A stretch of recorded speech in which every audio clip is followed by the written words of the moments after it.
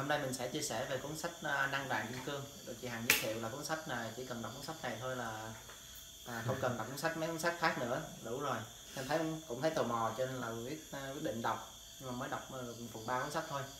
À, ở phần đầu cuốn sách đó thì nó nó nói về ông Michael Roach, ông nói về cái cách mà ông vào à, ông ra ông ông là một người tu sĩ phương tây à, học à, học thiền về học thiền tịnh độ về ở bên ấn độ.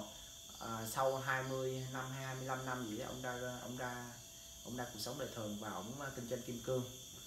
À, ở đầu cuốn sách thì ông nói là ông à, phát triển cái công ty à, kim cương như thế nào và cách nhận dạng kim cương thì mới đọc cái đó thôi. Nhưng mà à, về tại vì hôm nay chị Hằng có chia sẻ cho nên là phải đọc phần sau cuốn sách nó nói gì. Về cái comment của mấy ông, mấy cái người doanh nhân nổi tiếng á, tức là tất cả đều quy chung về một cái nguyên tắc, đó là cái sự cho đi.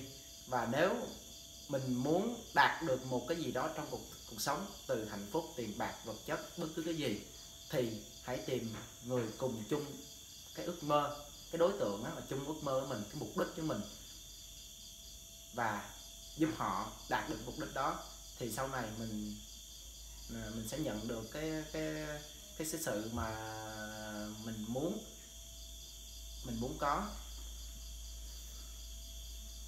À, có một cái ví dụ như thế này.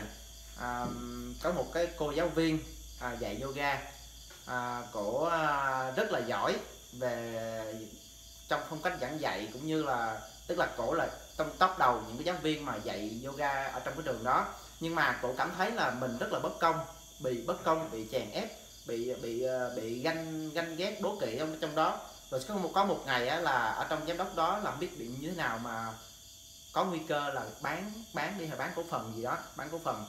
À, tức là chuyển qua một cái giai đoạn là sẽ có một giám đốc khác tới quản lý.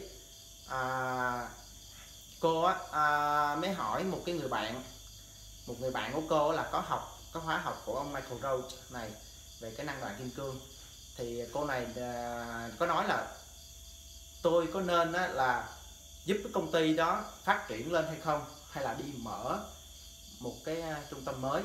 Thì cái cô thì cái cái người cái, thì cái người bạn này mới trả lời á nếu mà muốn đạt nếu mà muốn đạt được cái cái, cái sự thành công cái, cái sự mến mộ ở trong à, trong cái phương pháp dạy học dạy, dạy, dạy học yoga này á thì một cách duy nhất là cô hãy giúp người ta phát triển giúp người ta vực dậy cái lúc khó khăn.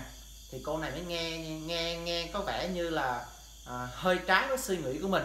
Nhưng mà trong lương tâm của cô á tại cô đang ghét mà tại vì mọi người trong đó đang ghét cô không ưa cô đố kỵ với cô. Nhưng mà trong lương tâm cô lại mách bảo là là việc làm của cái cái việc cái lời khuyên của người bạn đó là đúng cho nên cô làm theo.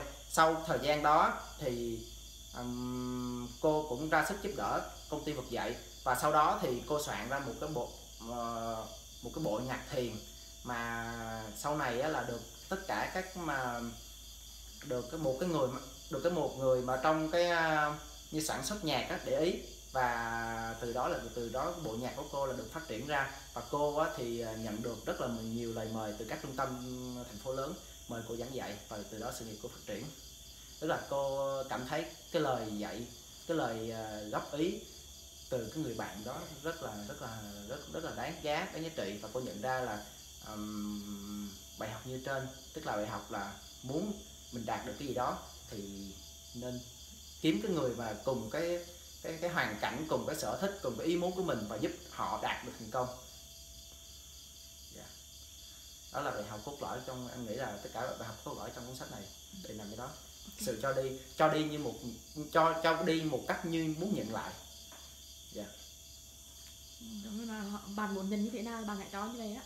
Dạ. thì cái tinh thần như vậy ai biết điều đó nhưng mà cái việc mà tìm một biết mình muốn cái gì là đã khó rồi đúng không yeah. nhưng mà tìm được một người cùng một ý mới nhìn là nó dễ như vậy nhưng mà em em lao em thấy nó khó và hỗ trợ người ta đạt được á, thì chị nghĩ là đó một con đường rất là dài dù phương pháp là đơn giản vậy thôi đó là phương pháp gieo nhân gieo hạt á thì ngày 25 26 tới đấy á, là linh sẽ lên hướng dẫn cho mấy đứa em về cái cách mà thực sự gieo nhân và chữa lành được cho chính bản thân mình nữa. Nó thực sự vi diệu. Nên là um, chị đọc hết quyển sách đó đi.